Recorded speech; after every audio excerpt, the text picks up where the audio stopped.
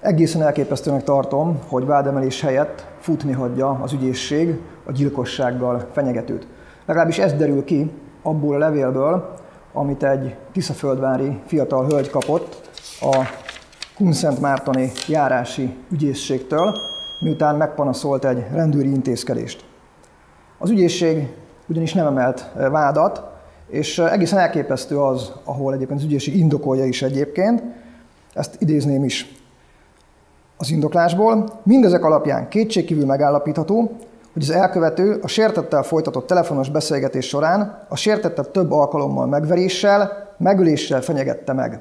Tehát gyakorlatilag az ügyészség pontosan elismeri azt, hogy bizonyítható, hogy az elkövető ezt elkövette. Ráadásul ismereteim szerint ennek a elkövetőnek Hasonló ugye van már egy másik is folyamatban, ahol a szomszédját fenyegette meg a szomszéd nyakának az elvágásával, illetve házának a felgyújtásával, és ugye ennek nyomatékot adjon, megjelent a szomszéd háza előtt is fenyegetőzni egy kerékkulcsal a kezében.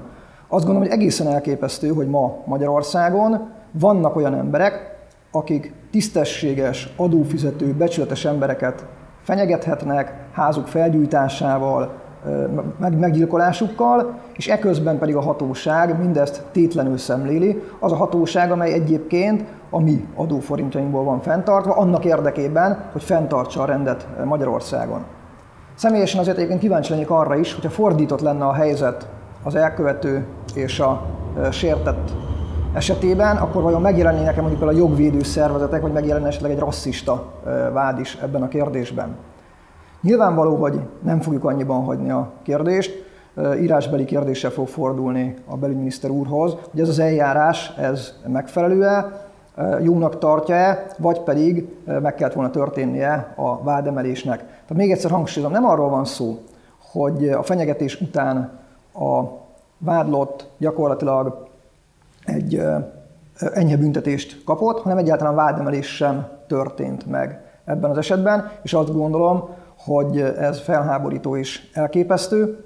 Ráadásul az is nagyon fontos, hogy az ezekkel a enyhe eh, hatósági intézkedésekkel, az enyhe hatósági munkával azt gondolom, hogy országszerte a bűnözésnek ad táptalajt a hatóság, és eh, nem megfékezi a bűnelkövetőket, hanem az arra hajlamos egyéneket még gyakorlatilag biztatja is, hiszen kvázi ezt az emberek úgy élik meg, hogy nincs következménye a tetteiknek, nyugodtan folytathatják ezt a tevékenységet.